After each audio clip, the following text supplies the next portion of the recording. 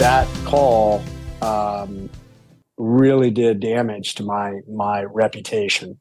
Um, I am very fortunate that no one was uh, injured or killed because of that call.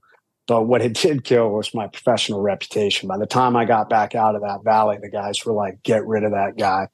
Um, they were calling me Rambo Red, which that is not a compliment. You know, for those who think Rambo is really cool, it's a cool movie. It doesn't apply in the military. It's kind of what we talked about before. There's no room for individualism, especially a leader who is um, making decisions based on his own glory. And that was I, I saw. I wanted to get in the fight, and I saw an opportunity, and I took it. And I am very fortunate that no one was killed because of my decision making.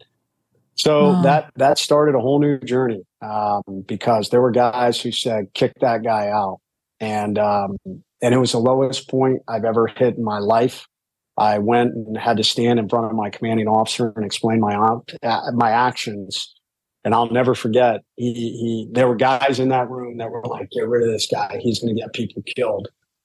And um, and my commanding officer told me to go back to my room, and he would let me know the next morning uh, what his decision was. And I went back to my room and uh, and I almost killed myself. I put a gun in my mouth and I started to pull the trigger. Um, but fortunately, I think God intervened. I looked, I, I just right about the time I did it, looked across um, at the desk and there was a picture of my wife and kids, and you know, just this voice was like, "What are you doing?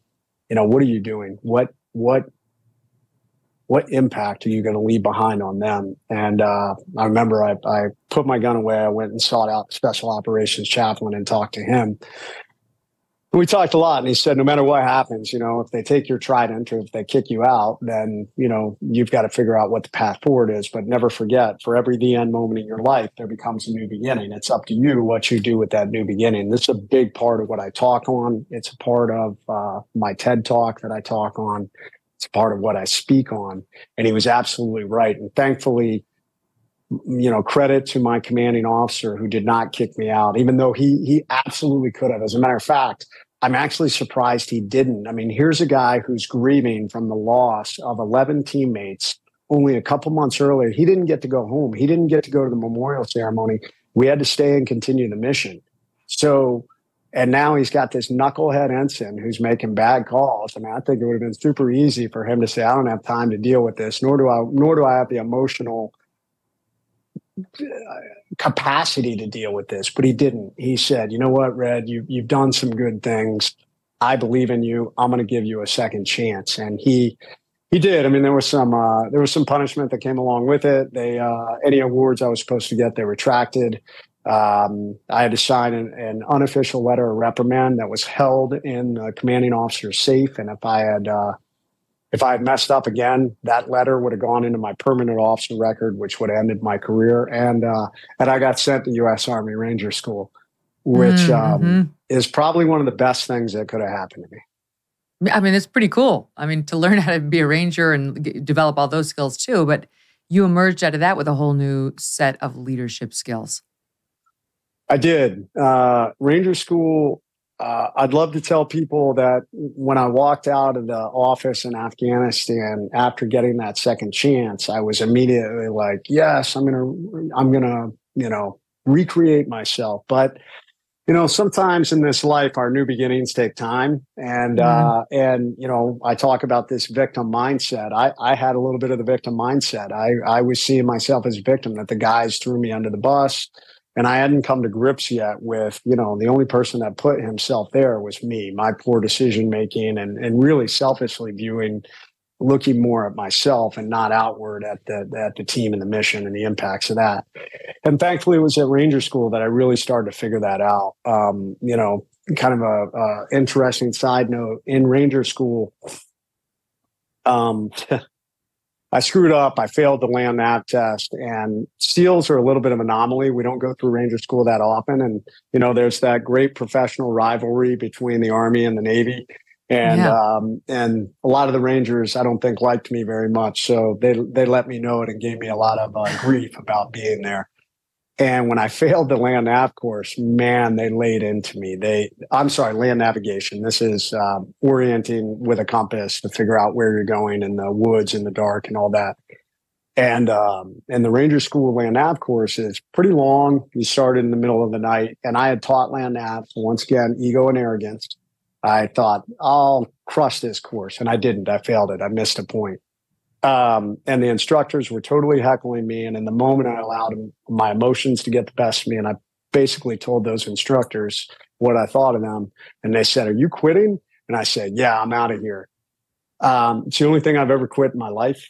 Um, and um, so I had to go meet with the Ranger Colonel, and uh, and the Ranger Colonel listened, and he said, "I think you should talk to one of your SEAL teammates." And I'll be honest, I was utterly ashamed and embarrassed, and I was like, "I don't want to talk to anyone. You know, I just want to crawl under a rock." And like, I guess this is the end of my military career.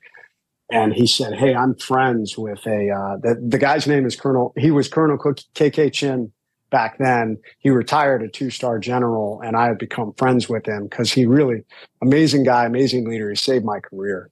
And he ended up calling one of our most respected uh, SEAL leaders who happened to be a mentor of mine who had helped me get commissioned. And he put me on the phone with him. And I remember telling him this whole story how, you know, I ended up there. And he said, Red, I, I know all about what happened with you. Did you ever think that you're, you're seeing this as punishment? he said, Did you ever think you might learn something from this? And I said, No. mm-hmm. um, and and then I told him, I said, but sir, no one's ever going to follow me again. I've made too many mistakes. I don't think I can recover from this. And and he gave me the foundational level of everything that I teach in leadership now. He said, Red, people will follow you if you give them a reason to. That's it. That's all leadership is.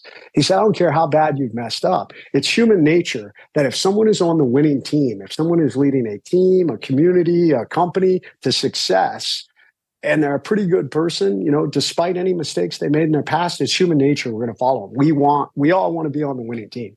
He said, so go back to Ranger School, crush it, come back and give the guys a reason to follow you. And uh, I was wow. like, Roger that. I hung up the phone and I I looked at the Ranger Colonel and I said, Will you put me back in my class? And he said, No, you quit.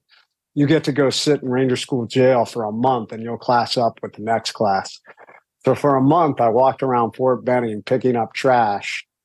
Uh, and it was probably the best Whoa. thing that ever could have happened to me because it finally humbled me and it gave me a lot of time to think about I was the problem. I was the problem. and it was my lack of my own self leadership, selfish leadership that put me there, and it really changed uh, everything. I created a new, you know, my three rules of leadership that I now teach, and uh, and that enabled me to drive forward, graduate Ranger School, and slowly over the next couple of years build back my credibility as a leader.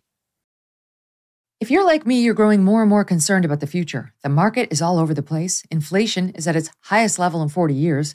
Interest rates are skyrocketing, market experts not only predicting a recession, but using scary terms like economic hurricane. If you want to protect your future, consider the precious metal dealer American Hartford Gold.